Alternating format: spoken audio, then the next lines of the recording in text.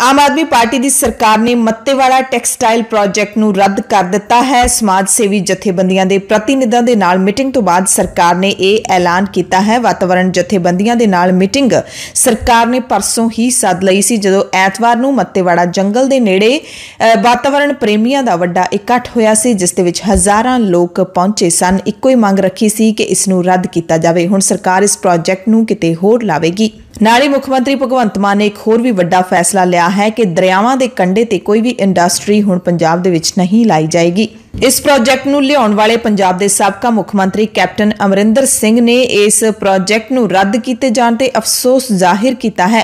Captain ਨੇ ਇਸ ਕਾਰਵਾਈ ਨੂੰ ਸਭ ਤੋਂ ਪਿਛਾਖੜੀ ਤੇ ਤੰਗ ਨਜ਼ਰੀਏ ਵਾਲਾ ਫੈਸਲਾ ਕਰਾਰ ਦਿੱਤਾ ਹੈ। ਕੈਪਟਨ ਨੇ ਕਿਹਾ ਕਿ ਟੈਕਸਟਾਈਲ ਪਾਰਕ ਮੱਤੇਵਾੜਾ ਜੰਗਲੀ ਖੇਤਰ ਦੇ ਅੰਦਰ ਨਹੀਂ ਆਉਣਾ ਸੀ, ਸਗੋਂ ਇਸ ਤੋਂ ਬਾਹਰ ਹੈ।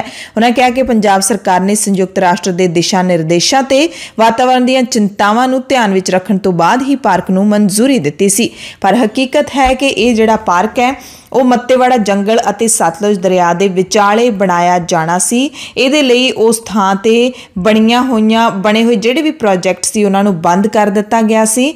ਇੱਥੇ ਪਿੰਡ ਸੇਖੋਵਾਲ ਦੀ 407 ਏਕੜ ਜ਼ਮੀਨ ਉਹ ਵੀ ਐਕਵਾਇਰ ਕਰ ਲਈ ਗਈ ਸੀ ਅਤੇ ਜੇ ਇੱਥੇ ਟੈਕਸਟਾਈਲ ਪਾਰਕ ਬਣ ਜਾਂਦਾ, ਤਾਂ ਜੋ ਜੋ ਸਰਵੇ ਹੋਏ ਨੇ, ਉਹਨਾਂ ਦੇ ਮੁਤਾਬਿਕ ਸਤਲੁਜ ਦਾ ਪਾਣੀ ਵੀ ਗੰਦਾ ਹੋਣਾ ਸੀ ਤੇ ਟੈਕਸਟਾਈਲ ਪਾਰਕ ਯਾਨੀ ਕਿ ਜਿਹੜੀ ਕੱਪੜਿਆਂ ਵਾਲੀ ਫੈਕਟਰੀ ਹੁੰਦੀ ਹੈ, ਉਸ ਦੇ ਵਿੱਚੋਂ ਸਭ ਤੋਂ ਵੱਧ ਪ੍ਰਦੂਸ਼ਣ ਨਿਕਲਦਾ ਹੈ। ਦੁਨੀਆ ਭਰ ਦੇ ਵਿੱਚ ਉਹਨਾਂ ਪ੍ਰਦੂਸ਼ਣ ਕੋਈ ਵੀ ਫੈਕਟਰੀ, ਕਿਸੇ ਵੀ ਸਮਾਨ ਦੀ ਫੈਕਟਰੀ ਨਹੀਂ ਫੈਲਾਉਂਦੀ, ਜਿੰਨਾ ਕੱਪੜੇ ਬਣਾਉਣ ਤੇ ਫੈਲਦਾ ਹੈ।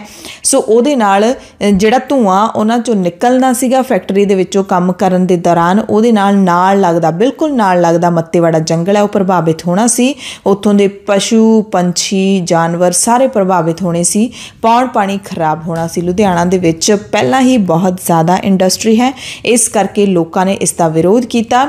ਜਦੋਂ ਕੈਪਟਨ ਸਰਕਾਰ ਨੇ 1000 ਏਕੜ ਵਾਲਾ ਇਹ ਪਾਰਕ ਲਿਆਉਣ ਦੀ ਤਜਵੀਜ਼, ਬਣਾਉਣ ਦੀ ਤਜਵੀਜ਼ ਲਿਆਂਦੀ ਸੀ, ਉਦੋਂ ਹੀ ਵਾਤਾਵਰਣ ਪ੍ਰੇਮੀਆਂ ਨੇ ਰੋਸ ਸ਼ੁਰੂ ਕਰ ਦਿੱਤਾ ਸੀ। ਹੁਣ ਜਦੋਂ ਨਵੀਂ ਸਰਕਾਰ ਨੇ ਵੀ ਉਸ ਪ੍ਰੋਜੈਕਟ ਨੂੰ ਅੱਗੇ ਵਧਾਉਣ ਦੀ ਕੋਸ਼ਿਸ਼ ਕੀਤੀ, ਬਜਟ ਦੇ ਵਿੱਚ ਹੀ ਦਾ ਤਾਂ ਲੋਕਾਂ ਨੇ ਫਿਰ ਸੰਘਰਸ਼ ਵੱਡੇ ਪੱਧਰ ਤੇ ਵਿੱਢ ਲਿਆ ਸੀ ਤੇ ਇਸ ਸੰਘਰਸ਼ ਦੀ ਜਿੱਤ ਹੋਈ ਹੈ, ਇਹ ਪੰਜਾਬੀਆਂ ਦੀ ਜਿੱਤ ਹੋਈ ਹੈ। ਵਾਤਾਵਰਣ ਤੇ ਪੌਣ ਪਾਣੀ ਬਚੇਗਾ, ਕਿਉਂਕਿ ਪੰਜਾਬ ਦੇ ਵਿੱਚ ਜੰਗਲ ਹੇਠਲਾ ਰਕਬਾ ਬਹੁਤ ਜ਼ਿਆਦਾ ਘਟ ਗਿਆ। ਵੰਡ ਵੇਲੇ ਇਹ 25% ਦੇ ਕਰੀਬ ਹੁੰਦਾ ਸੀ, ਹੁਣ 3 ਤੋਂ 6% ਤੱਕ ਰਹਿ ਗਿਆ।